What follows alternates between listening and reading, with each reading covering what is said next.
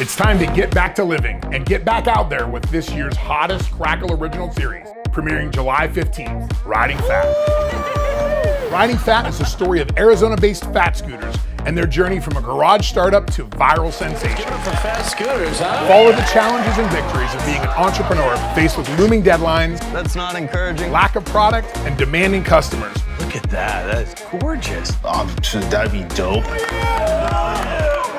Riding Phat features designs, builds, and deliveries from viral video sensations like the Good Good Guys No way. to NBA Hall of Famer Dominique Wilkins, Make it happen.